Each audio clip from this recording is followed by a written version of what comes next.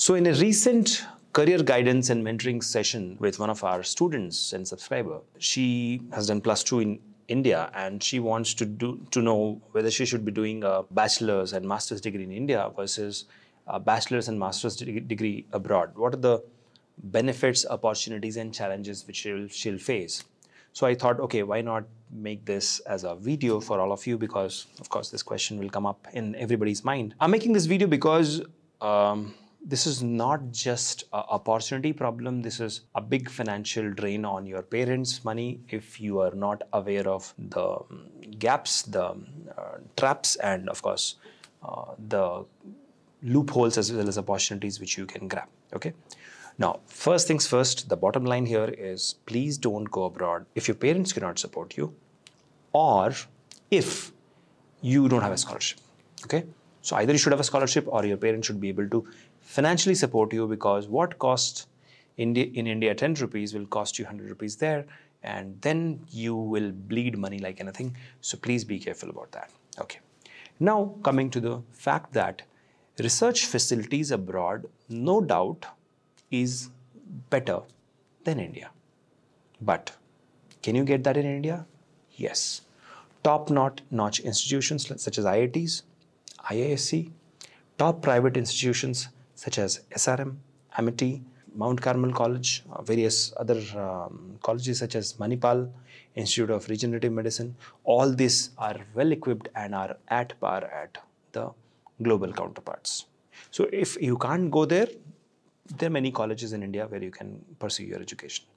But yes, the research infrastructure, the research facilities is 100 times better than what India has today. Now coming to the second part, which is funding opportunities. So it's not about only bachelor's and master's. You get funding easily there for your research career.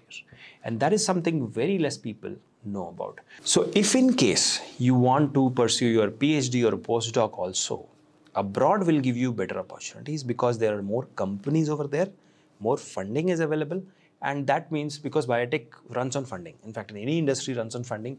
So more opportunities for funding is available only abroad not in india at this juncture as i, as I speak to you in 2024 so yeah that is an unfair advantage you get when you go abroad. But when it comes to career prospects if you are a top candidate in india you will get the same career prospects whether you go abroad. So if you even if you do your uh, you know phd or msc or bachelor's in, from the top institutions you'll get the same career opportunities what you will get abroad. So it's not like if you do it here, it's bad.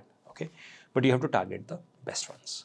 Now, followed by that, the networking opportunities are brilliant abroad, but the same can be you, you know, you, virtually you can reach out to people. So yeah, in India also you can do so. It's not that you have an unfair advantage uh, networking wise, but the quality of education there definitely is very high, very good. But please don't go into a less known private college just because you wanted to do a, your bachelor's or master's from uh, US or European countries, do it from a good quality college. Now coming to the dark side or uh, the bad side or rather I would say the tough side of um, education abroad, bachelor's or master's in biotech abroad, you have agreed great infrastructure, great mm, uh, scientists and mentors, but cost of living there will be 100 times more than what is in India. So please consider that. In fact, I'm going to tell you a shortcut now. Instead of doing bachelor's and master's abroad, I would suggest that you do bachelor's, master's, and PhD in India and then go there. You can easily get absorbed if you have done a good PhD from India. Even you can get a green card also. So the struggle gets minimized by one tenth. Okay. So the struggle is now one tenth of what you would struggle in US or European countries. And then after your PhD, when you apply there, you become a you apply for a job, not for a degree. They won't ask you for any IELTS. They won't ask you for any um, TOEFL, and you directly get a job, right, as a scientist. So that's a better idea instead of going there and spending so much money. But yes, definitely, if you you want to have a lifestyle there, okay, you can do that. But remember, once you are there, it, there are very less people who come back. So yeah, that's there. Next thing is language barrier and time zone barrier.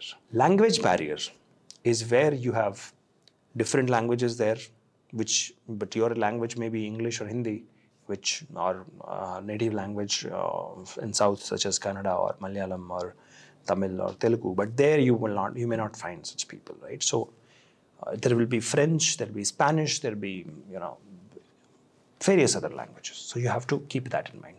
The time zone barrier will be if your parents are in India and you are there, you have to really wait for them to wake up and you have to be in that overlap zone when so basically you'll be talking to your mom dad only in the mornings early mornings or late evenings but not in the daytime or so your near and dear ones won't be that near near and dear with you. So that's a time zone uh, problem you'll face. Cultural adjustments will be there. The way things are in india are not the way things are in us or europe. Things change. You may appreciate that it is much better but at some point in time, that real Indian culture you may miss. The colorful festivals and all that, you may miss that. Now, coming to the bottom line is three things. First, don't jump in unless you have a scholarship. Okay? And that too from a good college or university.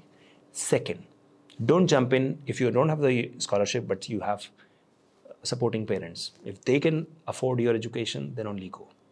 Third, there is no need to go if you just do your bachelor's, master's, and PhD from a good college in India. You can apply for a job abroad and you can always go. So these were my thoughts about uh, bachelor's and master's in biotech abroad. Now, here is a shortcut if you really want to get in there in top notch colleges. And that is if you learn bioinformatics now, publish some papers in bioinformatics while you're still in your plus two or bachelor's. And then you apply, you mention this in your statement of purpose, your chances of selection will be very high in biotech and bioinformatics courses. Same thing you can do with biomedical, do some projects and then you apply there. Your chances of acceptance will be very high along with a scholarship. So you have to keep these, this in mind while you prepare your scholarship statement of purpose. But yes, this video doesn't end here. If you have any questions, if you want some guidance, you can always opt for personalized career guidance with me or many any of my team members at Biotecnika. Uh, we call it as Career Guidance Mentoring Session, CGMP. So you can always reach out to us at 1-800-1200-1818 or you can write to me personally at shekhar at biotecnika.org. Thank you so much for watching this video. See you soon in the next one. Till, till then, keep shining. Bye-bye.